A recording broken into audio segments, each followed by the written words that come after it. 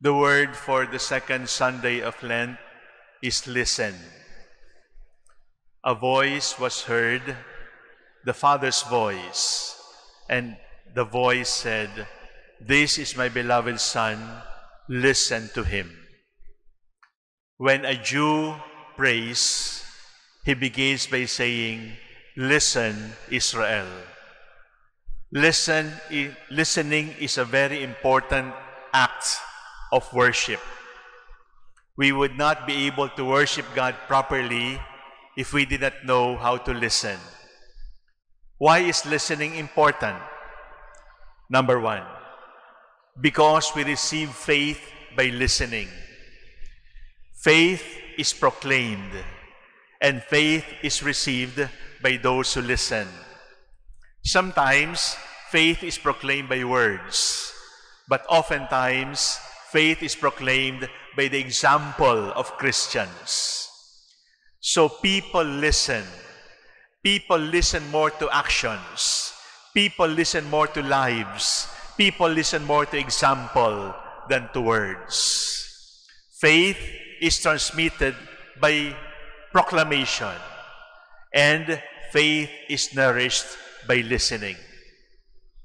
Second, the best expression of love is by listening. People who love listen all the time. If you draw yourself on a kapan band, you will draw a head and ears and nose and eyes and mouth. This is an ear and this is an ear. If you remove this and put them together, you form a heart. The two ears put together form a heart because those who love always listen. Listening is an expression of love. And those who listen less and talk too much maybe are loving less also. Third, listening is also our hope because listening is the prelude to dialogue. There is war in many parts of the world. There are conflicts. There are civil suits in courts. And people are fighting. And how do you pursue peace? Pope Paul VI, repeated by St. John Paul II, said, The new name of peace is dialogue.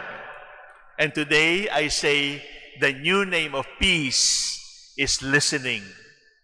The new name of peace is listening. And people who listen will be able to dialogue. And people who dialogue will be able to achieve peace. So, three reasons why listening is important. Number one, listening is the proof of love. Number two, faith is nurtured by listening.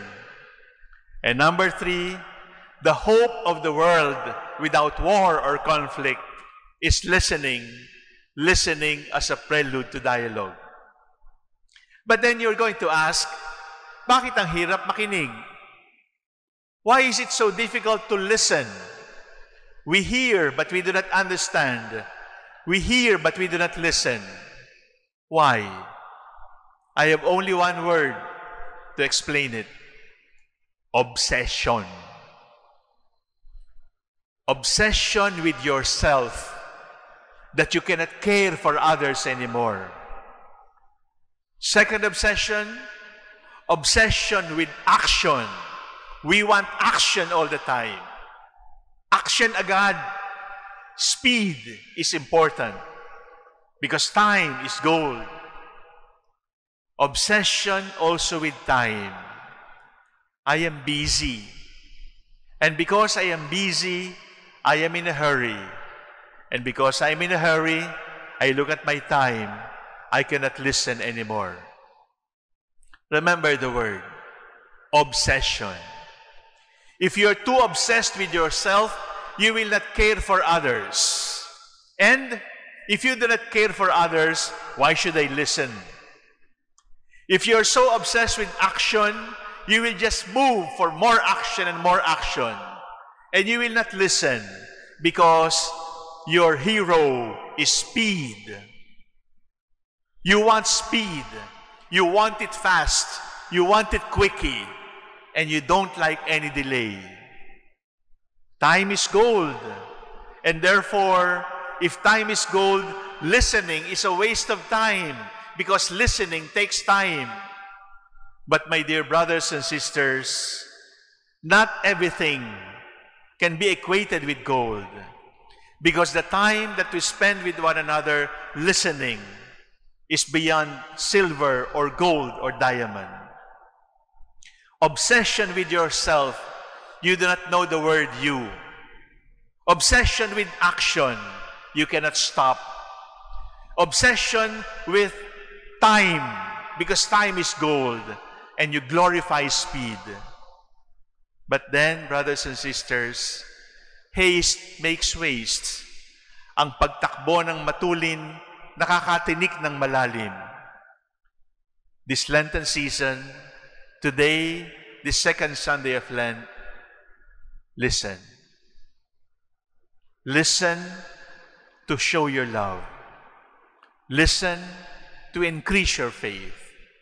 Listen to promote peace for the hope of the world. Listen respectful of you. Listen ready to waste time.